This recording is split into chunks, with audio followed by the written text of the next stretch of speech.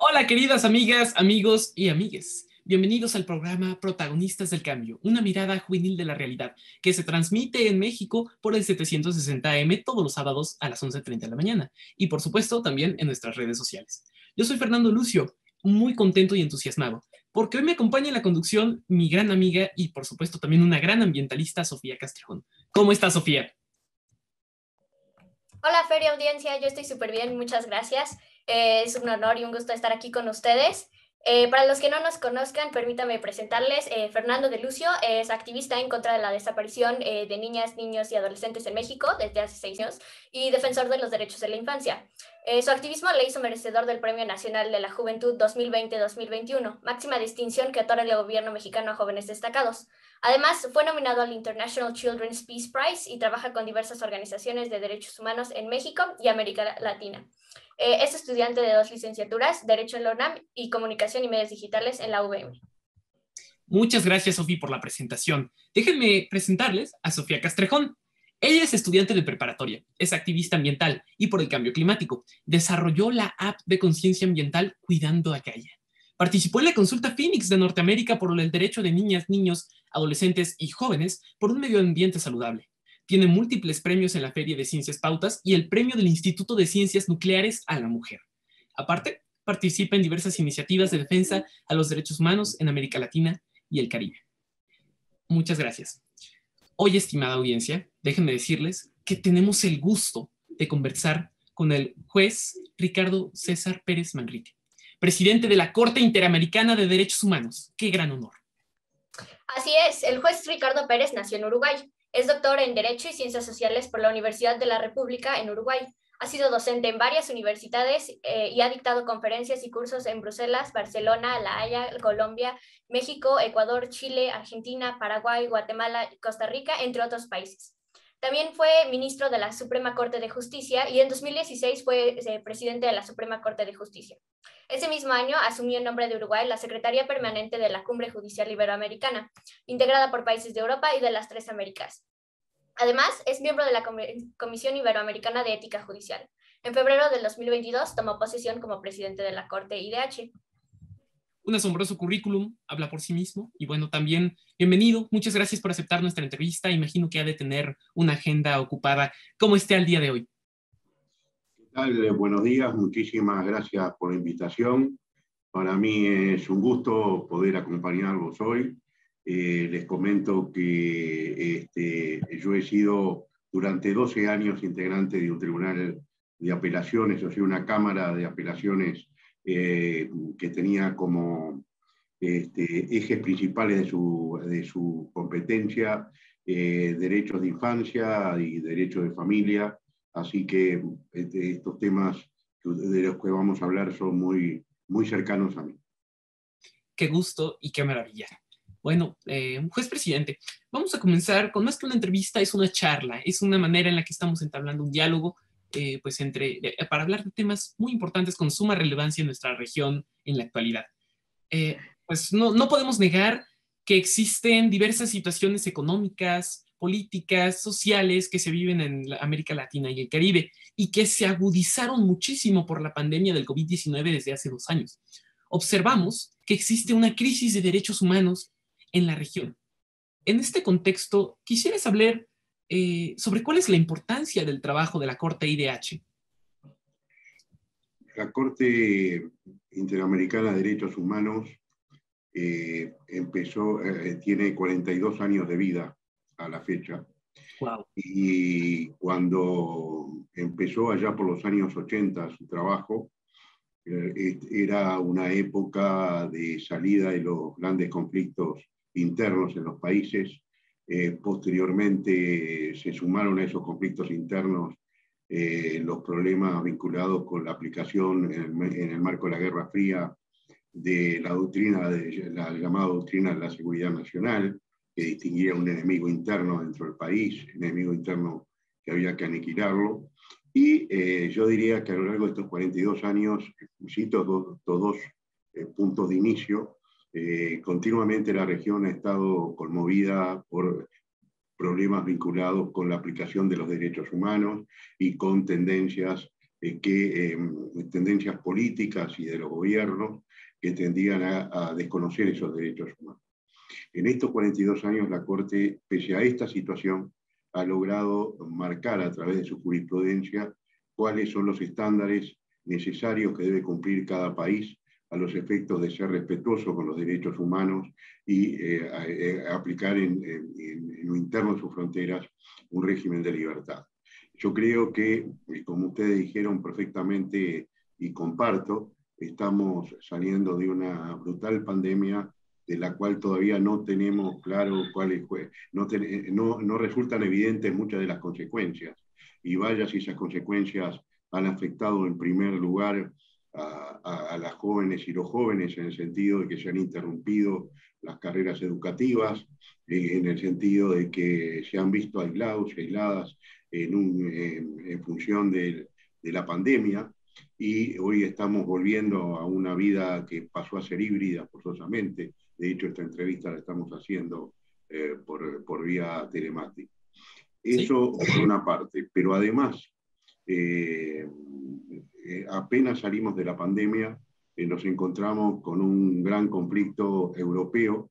Por primera vez desde la Segunda Guerra Mundial tenemos una guerra en Europa y las guerras en Europa generalmente han devenido en guerras mundiales, en guerras planetarias. Entonces, eh, estamos en una situación sumamente compleja, donde las vulnerabilidades que se dan en, nuestra, en la población de nuestros países resultan acentuadas y particularmente, eh, particularmente afectadas por estas situaciones de dificultad. Entonces, ahí la Corte tiene la función, eh, como lo ha hecho a lo largo de estos 42 años, digamos, mantener la línea de la aplicación de la Convención Americana sobre Derechos Humanos y de la, este, del derecho internacional de los derechos humanos en la región. Un trabajo muy importante, sin duda. Em, y ahora, eh, juez presidente, eh, sé, que, eh, sé que la Corte IDH ha venido trabajando mucho en la materia de paridad de género en la integración de la Corte. Eh, ¿Cómo seguirá impulsando este balance entre hombres y mujeres que imparten justicia que es tan importante? La Corte mm, fue, eh, fue renovada eh, por una votación en la OEA que se hizo este, el año pasado y a partir del primero de enero de este año eh, tenemos por primera vez tres juezas integrando la Corte, siete jueces, y quiero destacar que a lo largo de todo el proceso de selección de nuevas juezas y nuevos jueces, una actitud muy firme de parte de la Corte en el sentido de exigir que hubiera paridad de género en su integración. Eh, yo creo que esta integración de tres juezas, que son mujeres con distintas, con distintas experiencias, pero todas muy comprometidas con el tema de los derechos humanos, va a dar sin duda, y ya lo está haciendo, una nueva, este, una nueva perspectiva al trabajo de la Corte, incorporando la visión de la mujer. Si ustedes me preguntan cómo podemos seguir este trabajo, yo creo que hay que seguir eh, manteniendo el discurso de la paridad, hay que seguir impulsando que los países, frente a una nueva renovación de jueces que se va a producir en dos años, este, se siga manteniendo el criterio de que sigan ingresando mujeres a la Corte. Y yo creo que no está lejos el momento en, que, en el cual hoy eh, tenemos cuatro, eh, tres juezas mujeres y cuatro jueces hombres. No está lejos el momento en que la mayoría de juezas, eh, la mayoría de, los integrantes de la Corte sean juezas mujeres.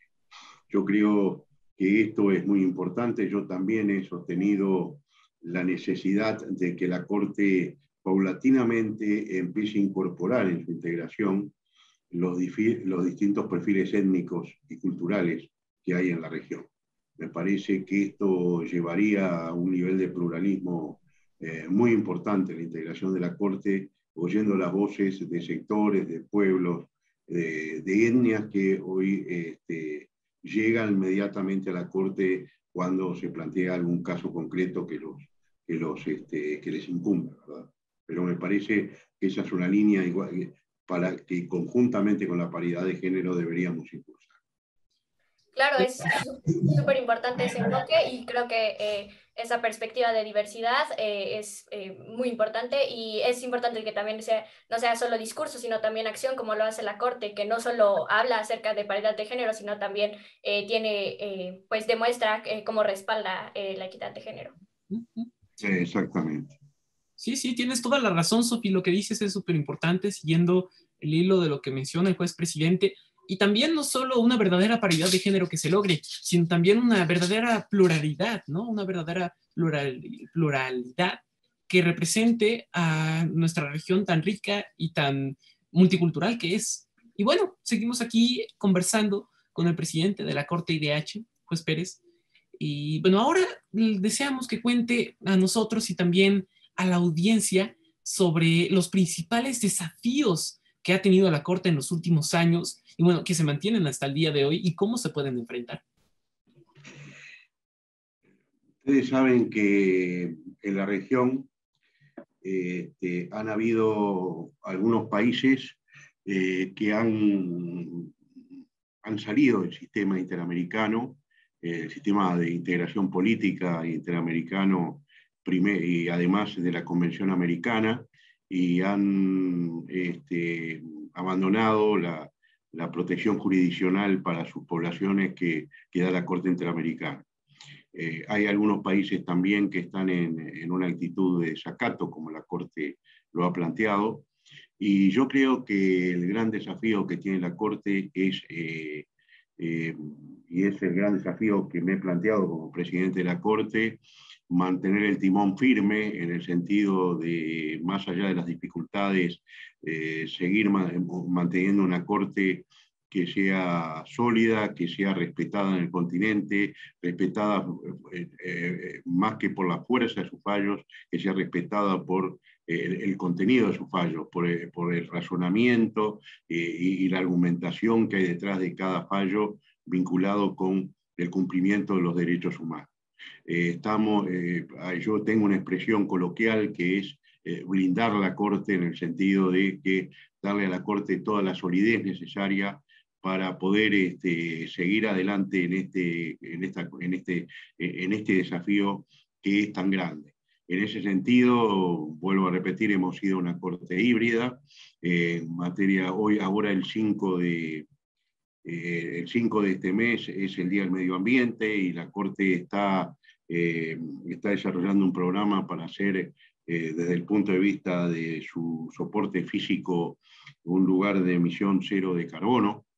Eh, estamos este, muy comprometidos con esta temática del medio ambiente y estamos muy comprometidos con lo que hemos denominado una, una corte de puertas abiertas, con justicia abierta en la corte, es decir, donde ya hace tres años, por ejemplo, hemos impulsado en ocasión del del cumplimiento de, en, en, el 2019 de los 30 años de la Convención de los Derechos del Niño, hemos impulsado un diálogo con niños, niñas y adolescentes, que lo hemos realizado a través de estos tres años, más allá de la pandemia. Estamos dispuestos a fortalecerlo e impulsarlo. Hemos, hemos este, desarrollado la red Dialoga de Periodistas, el diploma de periodistas. Hoy tenemos más de 6.000 periodistas que eh, integran, eh, hombres y mujeres de todo el mundo, que integran esta red dialoga de periodistas que eh, son amigos de la Corte en el sentido de que están recibiendo permanentemente comunicación de las actividades de la Corte y las están difundiendo. Estamos profundizando con, una, con un objetivo de mi presidencia que es eh, la creación de un centro de estudios judiciales interamericanos, es decir, una escuela para preparar a los jueces para aplicar la, doctrina, para aplicar la Convención Americana del Derecho Internacional de los Derechos Humanos y la jurisprudencia de la Corte. Y esta política de puertas abiertas lleva a que, por ejemplo, en mi país, en el día de ayer, desarrollamos eh, un primer encuentro con estudiantes universitarios en mi oficina de Montevideo, en la cual más de 50 estudiantes universitarios estuvieron debatiendo, interiorizándose con las actividades de la Corte y de su presidente. O sea que esos son los desafíos que tenemos, esas son las respuestas que estamos dando y eh, creo que eh, estos dos años de presidencia van a ser un impulso importante para que eh, la Corte siga manteniendo su lugar de, prestigio y su lugar de respeto que se ha ganado justamente en el continente. Sí, sí, tiene, tiene, particularmente por los nuevos contextos, la Corte tiene muchos desafíos. Sin embargo, parece que se están realizando buenas, buenas políticas, buenas opciones, buenos eh, programas, mecanismos para lograr enfrentar estos desafíos y de la mano también eh, evitar que se generen nuevos, ¿no? Por todo esto, por todo esto crimen, por todo este clímax de derechos humanos que tenemos en, América Latina y el Caribe. Sí, me parece que son acciones muy importantes que se deberían tomar en cuenta, bueno, en todos los países y también para mantener el organismo supremo, que es la Corte. Concuerdo contigo, Fer. Y también me pareció muy importante eh, lo de eh, acercar a los jóvenes al trabajo eh, tan importante que realiza la Corte. Creo que eso es algo, una muy buena práctica. por otro lado, ¿qué importancia tiene el activismo de los mismos niñas, niños y adolescentes en materia de derechos humanos y ambientales en el contexto latinoamericano? activismo es una palabra que tiene un fuerte contenido subjetivo. Yo diría que la palabra clave acá es participación. Eh, es necesario que, eh, que los, los, jóvenes y las jóvenes eh, asuman directamente su compromiso como ciudadanos del mundo, como ciudadanos de la región, y que ocupen los espacios necesarios para que sus voces sean oídas y para que sus propuestas sean atendidas. Yo creo que nadie más interesado en el planeta, eh, estamos pensando en la aplicación, por ejemplo, de los ODS 2030, eh, nadie más interesado en el planeta de los jóvenes porque, en definitiva, es, el mundo el cual, en el cual están viviendo y en el cual van a tener que ser adultos y van a tener que desarrollar sus vidas que tiene que, eh, tiene que moverse en la línea del desarrollo sostenible, del control del cambio climático y de eh, la preservación del medio ambiente.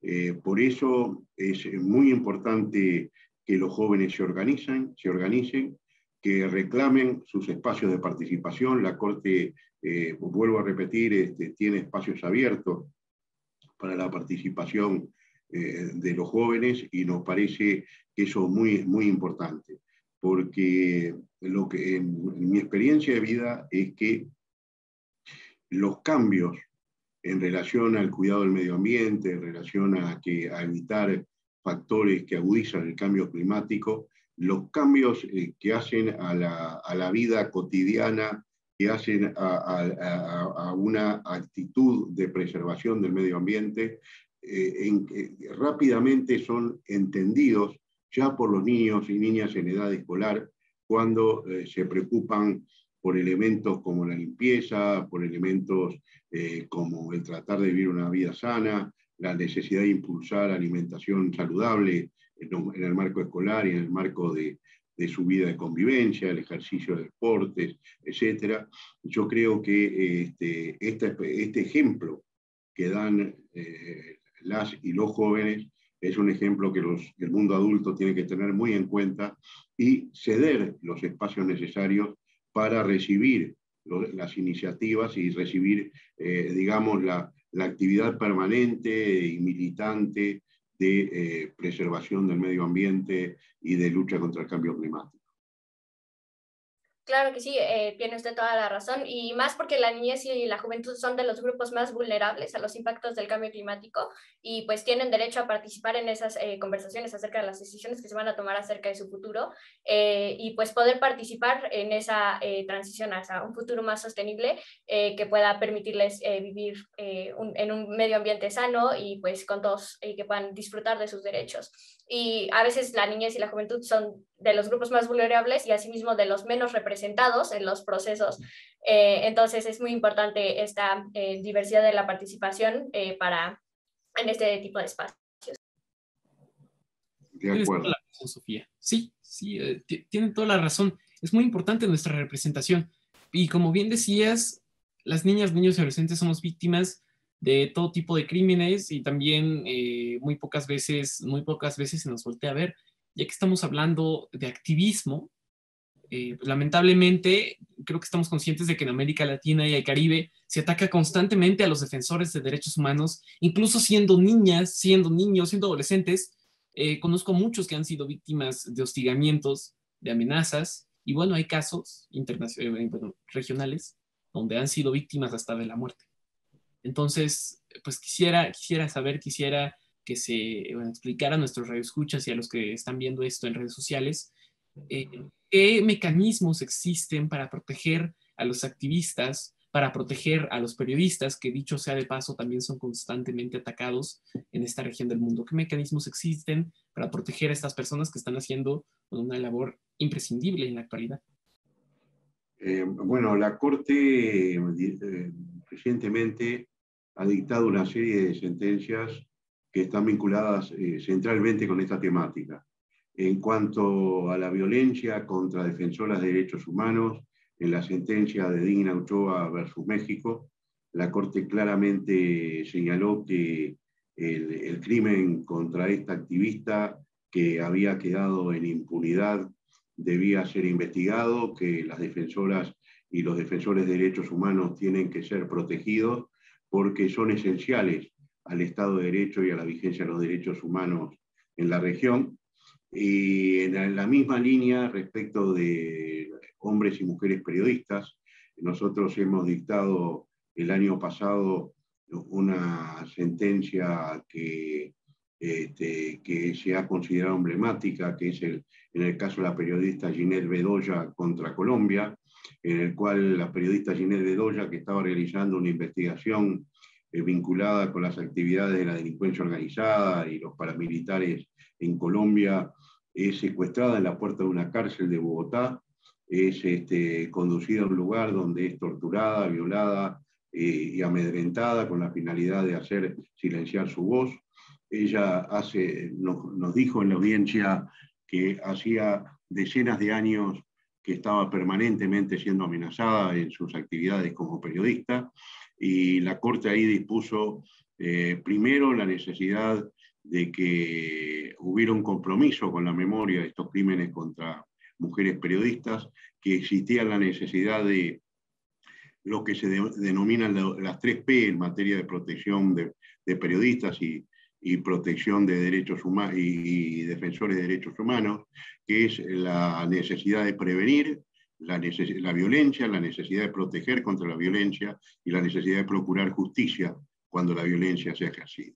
Esas tres P, que, que son una línea que van en línea con el sistema universal, han sido desarrolladas por la Corte en esta, en esta sentencia de, de la periodista Ginette Bedoya. Después hay otros casos de periodistas, como el caso de Carvajal, Carvajal versus Colombia, un periodista que fue asesinado, este, los casos de Venezuela, eh, Ríos eh, y otros de periodistas que fueron este, eh, atacados y defensores de derechos humanos que son atacados con la única finalidad de silenciarlos y que no sigan haciendo su trabajo de defensa de los derechos humanos. Y esto es muy importante. Y vemos como lamentablemente en muchos países este, defensoras y defensores de derechos humanos, mujeres y hombres periodistas, eh, terminan siendo asesinados este, o, obligados a un desplazamiento interno o al exilio por ejercer su profesión. ¿Y su profesión cuál es? Su profesión es defender los derechos humanos y, defender, y denunciar los crímenes del poder. Tiene toda la razón y es, es asombroso que en estos casos se esté procurando justicia y se esté dictando sentencias donde se le otorga la responsabilidad a estos estados por estos pues, crímenes tan terribles y que no se está, eh, bueno, últimamente no se ha hecho mucho por proteger a, este, a estas personas que hacen una labor, tan importante. Y me parece un trabajo maravilloso que, que se esté desde la Corte, que se esté procurando justicia y que se esté promoviendo este, este sistema de las 3P. ¿Tú qué opinas, Sofía? A mí me parece un, un, un avance importante y también necesario. Concuerdo absolutamente. Es, eh, me parece eh, muy eh, excelente que la Corte esté tomando estas medidas tan importantes para que este tipo de cosas no sucedan, porque nadie debería ser silenciado por hablar por los derechos humanos y asegurar que todo el mundo tenga acceso a ellos. Nadie. Entonces, creo que es un avance súper importante, como dices, Fer, y creo que es algo muy bueno que la Corte haya logrado eso. Em, Hablando... Perdón, una sola acotación. Eh, es eh, defensa de los derechos humanos y eh, denuncias de la corrupción y del crimen organizado. Sin periodismo de investigación, raramente los estados detectan eh, redes de crimen organizado si no hay previamente detrás una investigación periodística, por ejemplo. O no hay defensores de derechos humanos y defensoras de derechos humanos que, por ejemplo, en materia de medio ambiente, están denunciando, están, son los que denuncian los crímenes ambientales y permiten que se hagan conocer.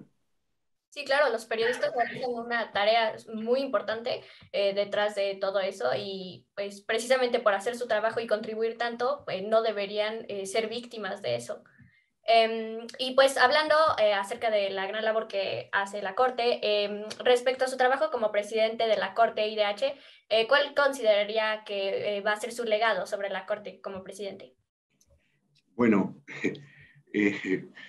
normalmente el legado uno lo, lo, deja cuando, deja de, cuando termina el cargo. ¿no? Yo todavía estoy iniciando mi presidencia. Sí, tengo objetivos claros, lo, lo manifesté en mi, en mi discurso inaugural. Mis objetivos claros son, eh, primero, una corte de puertas abiertas, una corte de cercanía, que, una corte que vaya por lo, que, que, recorra los países, que este año vamos a ir a Brasil y Uruguay, el año próximo ya tenemos invitaciones para constituirnos en varios países, este, y una corte que oiga y que dialogue con los pueblos de los países de la región. Eso es eh, fundamental para un tribunal. En segundo lugar, este, una corte que, amplíe también en esa línea la comunicación eh, y la protección de las distintas vulnerabilidades, la preocupación por los temas de género, por el tema de la migración, que es uno de los grandes dramas que se vive en el continente, que es una fuente permanente de violación de los derechos humanos. Este, tuvimos la oportunidad eh, en estos meses de visitar con un grupo de, con una jueza y, y el vicepresidente de la Corte eh, la zona de la selva del Darién en Panamá, que es el lugar por donde eh, entran los, las personas migrantes este, que vienen desde Colombia, desde otros países del sur, para seguir su camino hacia el norte, hacia la frontera con Estados Unidos. Y allí vimos bueno, el nivel de sufrimiento y el nivel de desesperación al que llega una persona para emprender, jugar, eh, poner en riesgo su vida, su libertad, eh, su integridad física, su integridad sexual, en fin, con tal de eh, poder aspirar a un mundo mejor porque sus países de referencia no se lo dan. Entonces, este tema de la migración es muy importante, basta leer los, los, este, los basta leer los medios de prensa para ver en qué condiciones están los migrantes, cuando se traban las fronteras y, que son objeto de cualquier tipo de represión, de expoliación, eh, de, robos, de atentados sexuales y abusos sexuales. En fin, este es un tema que nos preocupa mucho. La Corte tiene dos opiniones consultivas sobre la, eh, cuestión de la migración. Una del 2014 sobre niños y niñas en situación de movilidad humana, de la cual la Corte señala cuáles son eh, los parámetros y, los estándares que deben aplicar los, estándares, eh, los estados para cuando se encuentran entre, niños y, o niñas solas o acompañados que están en una situación de migración. Este es un tema que también nos preocupa especialmente y como también este, otra cosa que nos preocupa es eh, que la Corte, que tiene cuatro idiomas oficiales, que son este, español, portugués inglés y francés pueda que hacer que todas sus, sus sentencias estén en los cuatro idiomas originales para que todas las personas tengan acceso a las decisiones de la Corte en su propio idioma y en eso estamos trabajando también duramente para poder lograrlo. Y finalmente, esta idea que vamos a corporizar este año con, con una Corte que emita cero carbono, este, nos parece muy importante en la línea de defensa del medio ambiente y la protección contra el cambio climático, y esta postulación de la creación de un centro de estudios judiciales interamericanos. Nos parece que serían cinco líneas de trabajo que, este, si pudiéramos lograr nuestros objetivos, como esperamos hacerlo con el apoyo de, todo, de, toda la Corte y con el apoyo de todo el personal de la Corte, creo que seríamos, eh, nos consideraríamos eh, que habríamos hecho un, aporte interesante al desarrollo de la Corte. Bueno, queridos radioescuchas, gente que nos está viendo en redes sociales, pues les informo que ya se nos está acabando el tiempo de este programa. Se ha ido volando, la verdad es que yo no sé qué sucedió con el tiempo y la verdad es que muy interesante los temas que estamos discutiendo. Así que para cerrar esta entrevista, quisiera saber, ¿considera que es importante el enfoque y la preparación adecuada de los derechos de la infancia y juventud en la justicia? ¿Y por qué? Yo creo que es fundamental porque de la misma forma que hablamos de la trascendencia, la actitud de niños, niñas y adolescentes, del aporte que, que hacen en temas como medio ambiente y cambio climático, eh, tenemos que pensar en niños, niñas y adolescentes que son sujetos de derechos y que tienen el derecho a ser escuchados en todas las, en todas las instancias, sean judiciales, administrativas, etcétera, en los cuales sus derechos estén en juego. Y las decisiones de los conflictos que se susciten se deben hacer en función del interés superior del niño o de la niña, que es un mandato de prioridad que hace que en cualquier situación de conflicto deban preferirse los derechos de niños, niñas y adolescentes.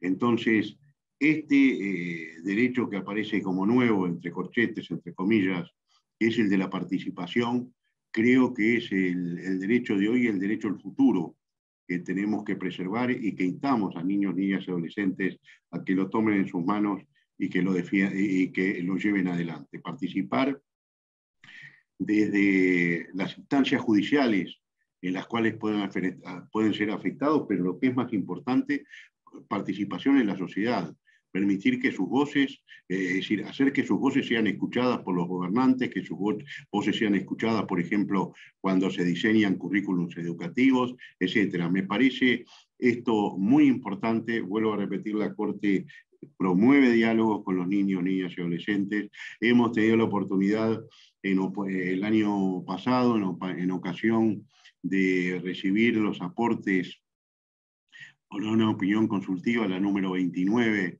sobre situación de personas privadas de libertad, en la cual lo que se plantea es eh, cuáles eh, eh, niños, niñas, niños y, niñas o adolescentes que están privados de su libertad con sus padres, cuando sus padres o su padre o madre está privada de libertad, pero también los niños, niñas, adolescentes que tienen sus padres, sus referentes adultos detenidos, presos, este, detenidos, privados de libertad, y ahí tuvimos este, la gran satisfacción de que por primera vez en la historia de la Corte, un grupo de niños, niñas y adolescentes denominado NAPES, que son niños, niñas, y adolescentes con personas adultas privadas de libertad, pudieran comparecer ante la Corte directamente a través de una posición planteando cuál es el perfil, el enfoque en este sentido participativo que estamos hablando,